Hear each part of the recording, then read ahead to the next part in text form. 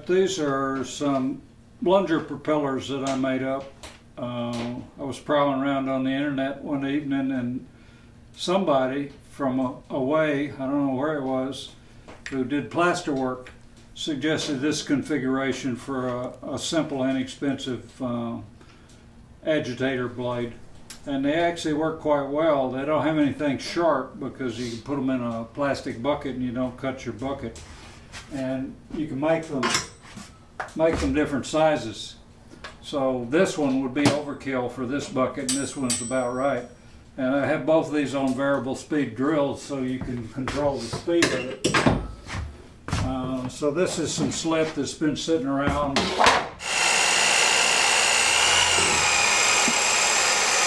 And the point of this, the point of turning your, your clay body test into slip is that all the clay particles will actually get wet.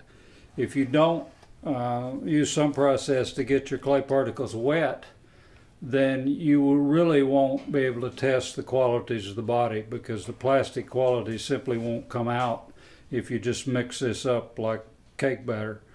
So if you mix it up as slip and you plunge it maybe once a day and you let it sit for a week, it'll develop full plasticity.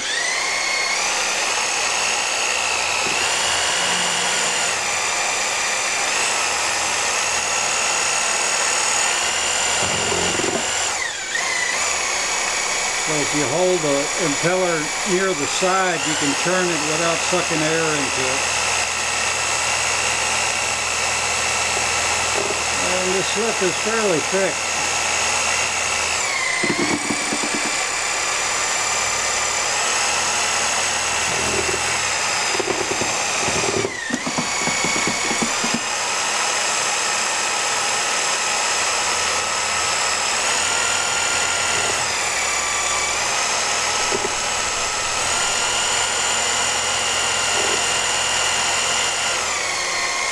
And if anybody's in the market for a drill, this one is a hammer drill. I don't use it that way, but it's an excellent drill for glaze mixing and for slip mixing because it's got two different speeds on it.